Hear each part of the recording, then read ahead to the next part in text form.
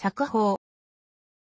作法、作法、殺法また殺風とは、称号、任命書、印象などの授受を媒介として、天使と近隣の諸国、諸民族の長が取り結ぶ、名目的な君臣関係、相続関係、宗主国と超公国の係を伴う外交関係の一種。天使とは、天命を受けて、自国一国のみならず、近隣の諸国諸民族を支配、狂気する使命を帯びた君主のこと。中国の歴代王朝の君主、元朝、清朝を含むたちが辞任した。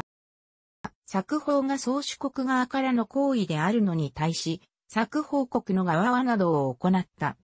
型物は元旦に行われる元会議例において展示され、天使の徳の高さと広がり、天上国の天使に対する政治的従属を示した。型物の献上を兆候と言い、兆候を行う施設を兆候士と称する。兆候士は指定された感覚、密議機で指定されたルート、密議道を通り、指定された型物を天使に献上し、合わせて天使の徳を称える文章を提出する。これを、職項と称する。宗主国と超公国の相互関係は、続めて、風密議と称された。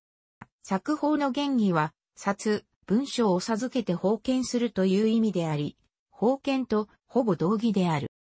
作法を受けた国の君主は、王や公といった中国の釈号を授かり、中国皇帝と君臣関係を結ぶ。この作法によって、中国皇帝の形式的ではあるが進化となった君主の国のことを作法国という。このようにして成立した作法関係では一般に作法国の君主号は一定の土地あるいは民族概念と結びついた地域名、あるいは民族名釈号という形式をとっており、このことは作法が封建概念に基づいていることを示しているとともに、これらの君主は作法された領域内で基本的に自治あるいは自立を認められていたことを示している。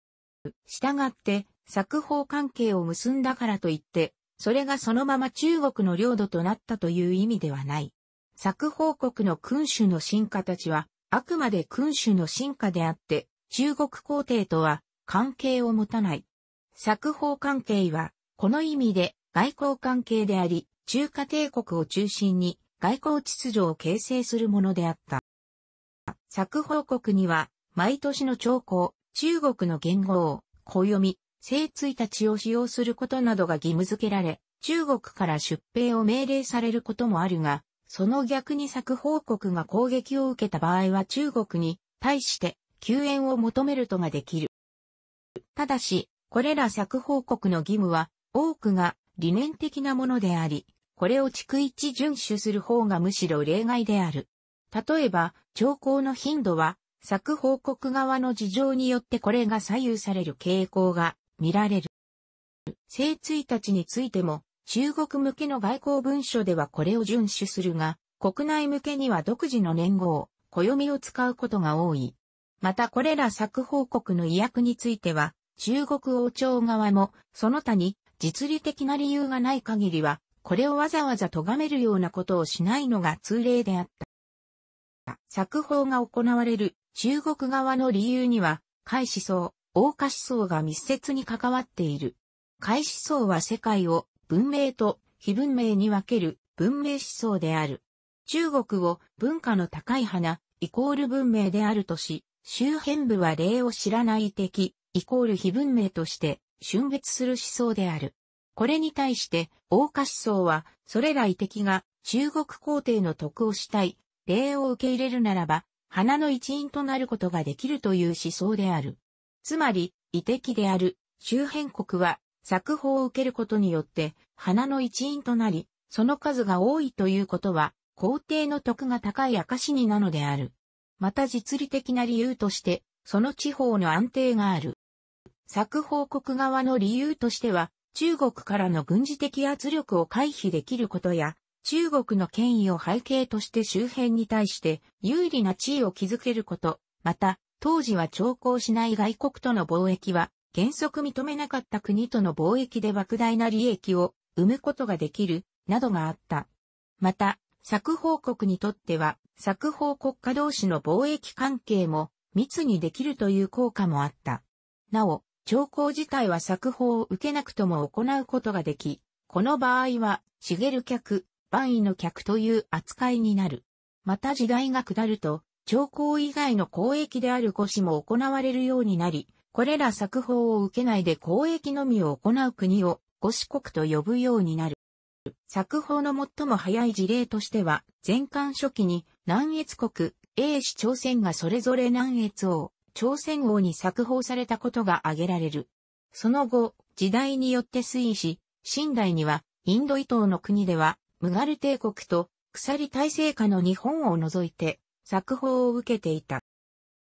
朝鮮半島では、中国から朝鮮半島を経由して、日本列島に至る交易路沿いに中国系商人の寄港地が都市へと成長していく現象が見られた。戦国時代、ツバメは朝鮮、朝鮮半島北部、新湾、朝鮮半島南部を略属させ、用地に砦を築いて管理を駐在させ、中国商人の権益を保護していた。清代は両党軍の保護下にあった。新末官所の混乱の中、復活した燕国は管理と中東軍を中部、南部、清川合意南から撤退させた。紀元前197年、漢王朝は燕国を大幅に縮小して、両党軍を直轄化したが、その際、エンジンのエーマンが清川港を南に越え、仲間ともに中国人、元住民の連合政権を樹立した。漢の両党大使は皇帝の裁可を得てこの政権を承認し、朝鮮王国が成立した。中国南部から東南アジアに至る交易ルートは、戦国時代、蘇が掌握していたが、旗に至り、百越と呼ばれた原住民を征服し、慶林軍、広西、南海軍、関東、増軍、ベトナム北部の三軍を置いた。新末の混乱期、南海軍の司令官、長卓は、この三軍を抑えて、独立政権を樹立し、南越王と自称した。漢は、建国初期、長太の政権を承認し、南越王の称号も認めた。史上最後の長公使はネパールから清朝に派遣されたもので、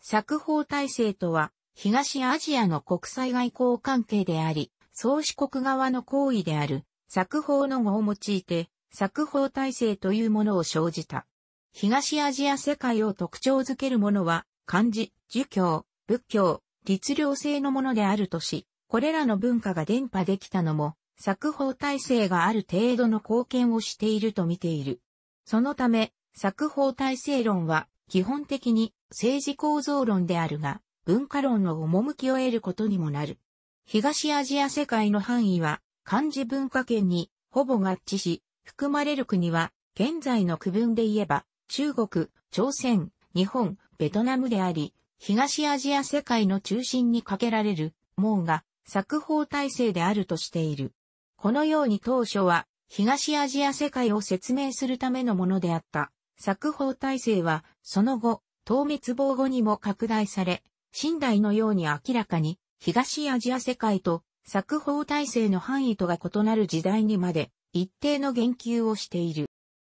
日本での研究家としては、前田直介と西島貞夫が、当滅亡後の東アジア諸国の大変動に目をつけ、東アジア諸国の間に相互連関関係があると提唱していた、東アジアにおける古代の終末1948年。しかしこの前田論においては、そういった連関関係を作っている要因については言及されないままであった。それに対して西島作法体制論は作法に着目することによって、これに一定の回答を与え、東アジア世界という、その中で完結した世界の存在を提唱するに至った。この概念は、6から8世紀の東アジア、1962年にて提唱され、単独の作法を指したものではなく、作法によって作られる中国を中心とした国際関係秩序のことである。以下、両方学者の作法体制論による各時代の展開を記す。特に中期しない限り、西島正東、アジア史論集第三巻を主典として記述されたものである。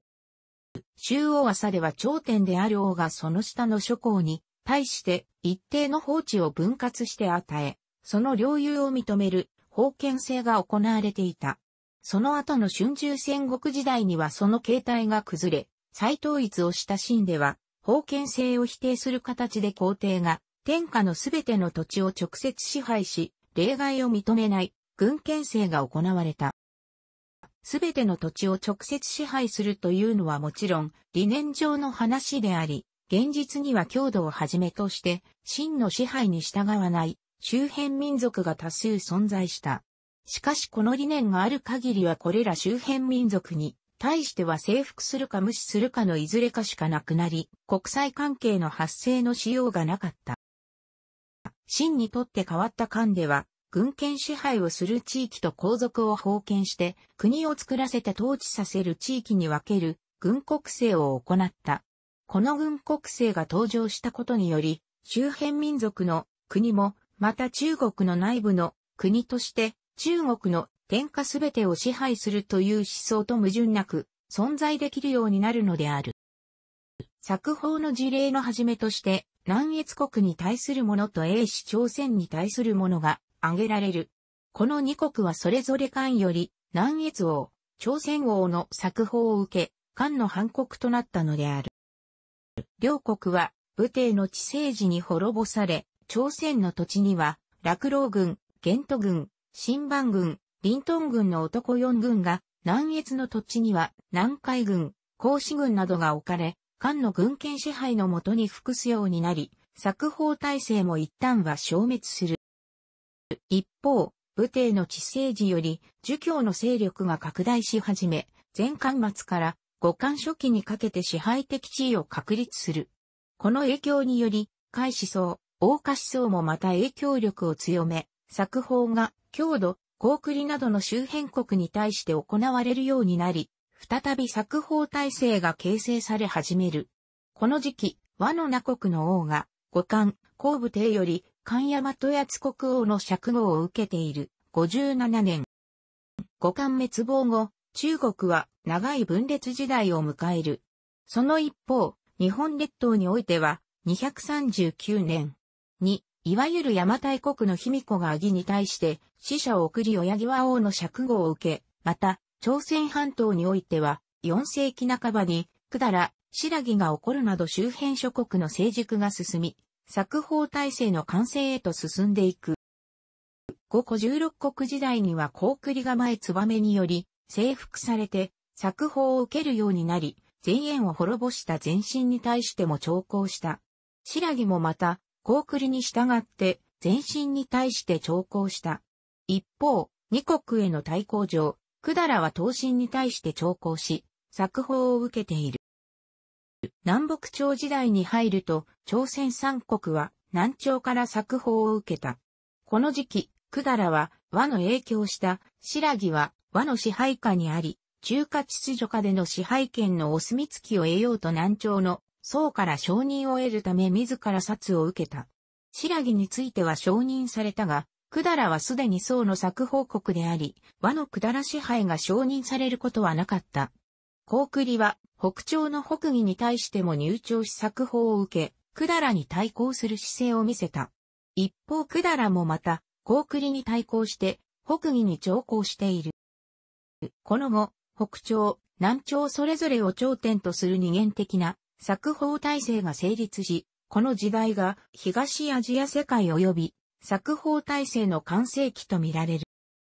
二元的な作法体制は589年に中国を統一した隋によって一元的なものへまとめられた。高栗、百済は隋成立の581年すぐに隋の作法を受けたが、白木はすぐには作法を受けず、594年になって初めて隋の作法を受ける。一方、高栗は585年からは、隋と対立する陳に対して徴工するようになり、隋が陳を滅ぼした後も隋に対する徴工を怠り、さらには、隋領内に侵入する事件まで起きる。これに激怒した文帝は高栗に対する遠征軍を起こす。この軍は苦戦し、撤退を余儀なくされるが、高栗が謝罪したことで、高栗の罪を許した。しかし高栗はなお兆候を怠り、文帝に代わって煬帝が立った後の607年には、特決と結んで、隋に対抗する姿勢を見せた。煬帝はこれに対して200万と号する大遠征軍、隋の高栗遠征を起こす、三度とも失敗に終わり、隋滅亡の主要因となった。他方、中国王朝との接触を行っていなかった倭国は、隋に対して遣隋使を送るようになる。この際煬帝に対して随所で始まる国書を送ったことが知られているが、これは当時台頭し始めた国なりの大国意識に基づく作法体制への危機感の表明と見られている。また、当時の公表人が和国王、中国の司書のうち、旧、当女は、除名天皇5年1月26日、633年、都市、王子とすると礼を争い帰国するなどした。ただしこの時期の和国もまた東アジア世界の一員であり、作法体制の外部にあったとしても、主に政治制度の確立という点で、中国王朝からの影響は大きかった。隋が滅び、唐が成立すると、624年に朝鮮三国は唐の作法を受けた。しかし、高栗で泉外祖文による権力奪取が起きるとこれを理由として二代大僧は、高栗遠征、唐の高栗出兵を開始するが、この遠征は再び失敗に終わる。その過程で唐と白木との関係が密になり、唐、白木の同盟、660年、唐は、百済と戦争中の白木からの救援要請に応じて、兵を送り、百済を滅ぼした。その後も連合は維持され、668年には、高栗を滅ぼした。さらに、百済移民の要請を受けて出兵した和との白月の絵の戦いにも勝利する。しかし白木は二国の丘陵が唐の軍権支配に置かれることを不快に思い、これに攻撃、唐、白木戦争を仕掛けて朝鮮半島を統一するに至った。唐は当然これに起こり、白木の王語を剥奪し、討伐軍を送るが失敗に終わり、最終的に白木が謝罪して入庁するという形式を取ることで、和解し、拡大した支配領域を維持したまま再び白木は作法を受け、以後、白木と唐は作法体制の中でも最も強固な関係となる。一方、高栗の移民たちは北に逃れ、新国を建国した。唐ははじめこれに対して、討伐軍を送ったものの713年には、王の大祖栄を渤海軍王に作法する。新国はこれにより、渤海と呼ばれるようになり、唐の作法体制に入った。また、白月の絵の戦いに敗れた和国では、大宝2年、702年第8次以降の遣唐使により、唐との関係修復を試み、これを長考の形式で行っているが作法を受けることはなかった。唐の流星とともに、作法体制も安定期を迎え、作法体制を通じて各国に党文化が伝えられた。各国では党の制度を模した律令制が取り入れられた。作法体制の安定も党の衰退とともに揺らぎを見せ、党滅亡によって作法体制のみならず東アジア世界が崩壊することになる。